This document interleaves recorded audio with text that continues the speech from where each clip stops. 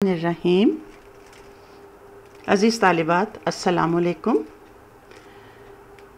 सारे दोम हिस्सा नज़म, फ़ातिमा बिनते अब्दुल्ला हमने शुरू कर रखा है बच्चों। छः अशार हम कर चुके हैं, अशार की तशरी आज हम सातवां शेर तशरी के लिए करेंगे। हमारा आज का जो पाँचवा हिस्सा है, उसमें ये सातवां शेर होगा। शेर अपनी किताबें खोलिए और ये शेर मेरे साथ पढ़िए। रक्स तेरी खाक का कितना नशात अंगेज़ है, ज़र्रा ज़र्रा ज़िंदगी के सोज से लबरेज है। नशात अंगेज़ होना, खुशी देने वाला, लुत्फ़ देने वाला, सोज, दर्द, लबरेज भरा हुआ। मफहम क्या बना? तेरी खाक का रक्स दिल में नशात पैदा करता है। इसका ज़र्रा ज़र्रा ज़िंदगी की तड़प से भरा हुआ है। इस शेर की तशरी करते हुए अलामा मोहम्मद इकबाल फातमा बिनते अब्दुल्ला को खराज तहसीन पेश करते हुए कहते हैं कि तू खाक में दफन होकर हाकिस्तर हो चुकी है, लेकिन मुझे ऐसा महसूस होता है जब ये खाक उड़ती है तो एक नई ज़िंदगी जिसमें हरकत अमल है, जिसमें जान सपुर्दगी है, जिसमें ज़िंदगी का सोज़ो दर्द है। ये वो जज्बाती और दिली मुसरत की कैफियत है, जो हमें भी आमादाए अमल कर रही है। तेरी कब्र का ज़र्रा ज़र्रा, तेरी कब्र का ज़र्रा ज़रा मशल रा बनकर दिलों को दर्द से भरता रहेगा। और ये याद दिलाता रहेगा कि हक की खातिर जान देने वाले कभी नहीं मरते। वो ज़िंदा जावेद हो जाते हैं। अब बच्चों, यहाँ पर सनाए बदाए के अतबार से शेर में जिस सनत का इस्तेमाल किया गया है, उसे हम कहेंगे सनत तकरार। सनत तकरार क्या है? कि अब यहाँ देखिए शेर है ज़र्रा ज़र्रा ज़िंदगी के सोच से लबरेज है। ज़र्रा ज़र्रा का जो लफ्ज़ है, उसको हम सनत तकरार के ज़ुमरे में इस्तेमाल करते हैं। इससे यहाँ पर इकबाल ने शायराना खूबी पैदा की है। अगला शेर देखिए। है कोई हंगामा तेरी तुरबत खामोश में? पल रही है एक कौम ताज़ा इस आगोश में। हंगामा, जोश। तुरबत, कब्र। खामोश खामोश। तुरबत खामोश, इस तरकीब का मतलब हुआ कब्र की खामोशी। पल रही है एक कौम ताज़ा। कौम ताज़ा, एक नई कौम, एक नया जोश, एक नया वलवला आगोश गोद में। मफहम क्या बनता है? कि तेरे कब्र की खामोशी में कोई हंगामा छुपा हुआ है। और इसकी गोद में एक नई कौम पल रही है। अलामा इकबाल फ़ातिमा बिनते अब्दुल्ला की शहादत और क़ुरबानी को सराहते हुए कहते हैं ए फ़ातिमा, तूने मुख्तसर सी ज़िंदगी में एक अजीम कारनामा सर अंजाम देते हुए जान दे दी। इस वक्त तू मनो मिट्टी तले दफन हो चुकी है और तेरी कब्र पर खामोशी छाई हुई है। लेकिन हकीकत इसके बरक्स है। इस खामोश कब्र में भी एक हंगामा छुपा हुआ है। तेरी कब्र की ज़्यारत करने वाले यहाँ आकर एक नया जोश, एक नया जज्बा और वलवला हासिल करते हैं।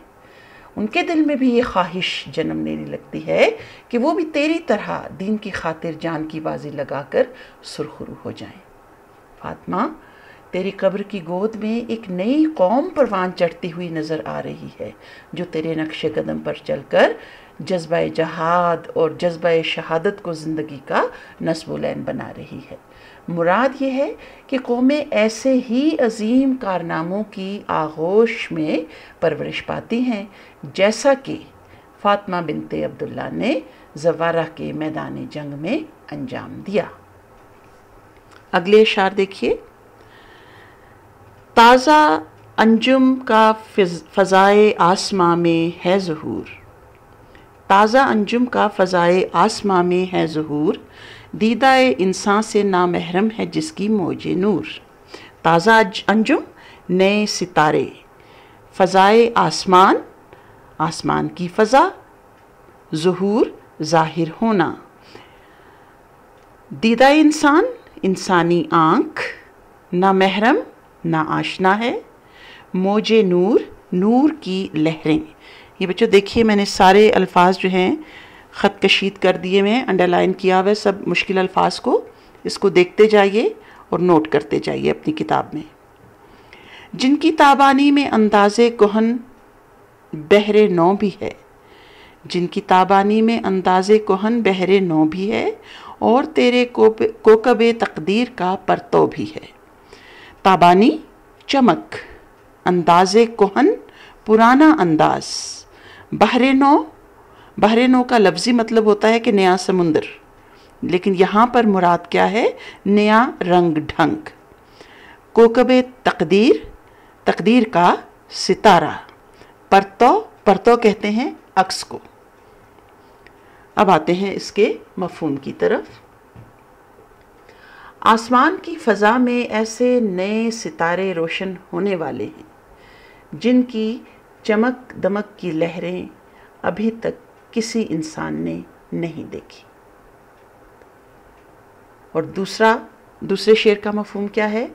इनकी चमक दमक में पुराना रंग ढंग भी है और नया भी। और ए फातमा, इसमें तेरे किस्मत के सितारे का जलवा भी शामिल है। अब आइए इसकी तशरी की तरफ़। अज़ीज़ तालिबात अलामा इकबाल ने अपनी शायरी में हमेशा रिजायत को फ़रोग दिया। रिजायत से मुराद, वो आने वाले दिनों में अपनी नई नस्ल से पुरुद हैं। रिजा पुरुद होना। उन्होंने हमेशा अजीम शख्सियात के कारनामों की मिसालें हमारे सामने इस तरह बयान की हैं कि जिन्हें पढ़कर हम भी अपने अंदर एक नया वलवला और नई हिम्मत पैदा करते हैं। इस शेर में भी कुछ ऐसी ही बात बयान की गई है कि फ़ातिमा बिनते अब्दुल्ला, तेरी क़ुरबानी के तुफ़ैल मुसलमान कौम में भी तब्दीली के आसार नज़र आते महसूस हो रहे हैं। वो कहते हैं कि आसमान की फ़ज़ा में ऐसे नए सितारों का ज़हूर हो रहा है जिसे इंसानी आँख ने इससे पहले नहीं देखा। ये सितारे अभी ज़माने के अंधेरे से बाहर निकले हैं। उनकी रोशनी सुबह शाम की पाबंदी से आज़ाद है। ये नहीं कि रात रोशन हो और सुबह को गायब हो जाएँ, वो हमेशा चमकते रहेंगे। उनकी चमक दमक में पुराना रंग ढंग भी है और नया अंदाज भी है। और ये सितारे तेरी किस्मत का अक्स भी पेश करते हैं। कहने का मतलब यह है कि ये नई कौम हमारे माजी के कारनामों को भी ज़िंदा रखेगी। ज़माना हाल के सिलसिले में भी अपने फ़रज़ सर अंजाम देगी और इसके ज़रिए हमारे मुस्तबिल की बुनियादें भी मज़बूत हो जाएँगी, क्योंकि इस कौम में बेदारी की ये नई लहरें करवटें लेने लगी हैं। ताज़ा अंजुम से मुराद शायर की यहाँ पर नई नस्ल है और फ़ज़ाए आसमान से मुराद मुसलमान कौम है। इन ताज़ा सितारों को अलामती अंदाज में मुसलमानों की बेदारी, नूर की लहरें और तकदीर के सितारों का अक्स करार दिया है, जो यकीनन आगे चलकर एक नई दास्तान रकम करने का बायस बनेंगे। ये थी बच्चों आपकी आज की तशरी और अब हम करेंगे इस नज़म का ख़ुलासा।